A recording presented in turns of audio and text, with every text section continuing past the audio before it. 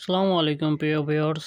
আসলে দেখেন আপনারা বাথরুম টাইলস করার সময় আসলে অনেকে টাইলস না করে টাকা পয়সার প্রবলেমের জন্য অনেক সময় প্লাস্টার করে, কালি করে বাথরুমের সৌন্দর্যটা নষ্ট করে ফেলেন। তো দেখেন আসলে কখনোই ভুল করেও এই প্লাস্টারটা করবেন না।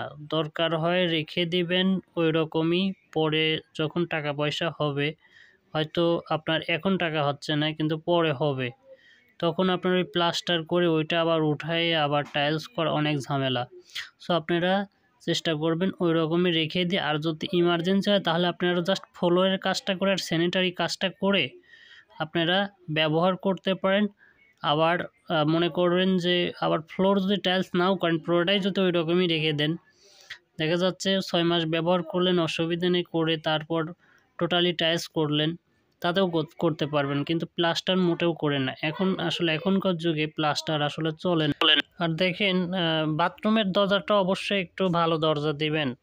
অন্তত কমসে কম চার সাড়ে চার হাজার পাঁচ হাজার টাকা দিলে ভালো হয়। চার হাজার টাকার উপরে দরজা দিলে আপনার অবশ্যই ভালো হবে।